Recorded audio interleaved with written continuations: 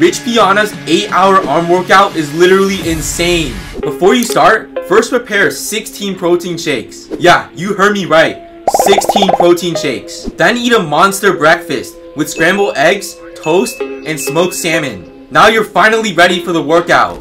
The 8 hour arm workout consists of 16 mini workouts combined into one. First start with 4 sets of 10 reps of skull crushers. After that, follow that up with 4 sets of 10 of barbell bicep curls. This is the first mini workout. Once you're fully rested, do 4 sets of 15 of single arm dumbbell tricep extensions. Then follow that up with 4 sets of 15 of barbell hammer curls. This is the second mini workout.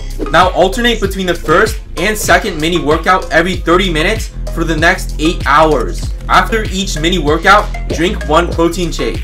In total, you'll be doing 128 sets or 1600 reps.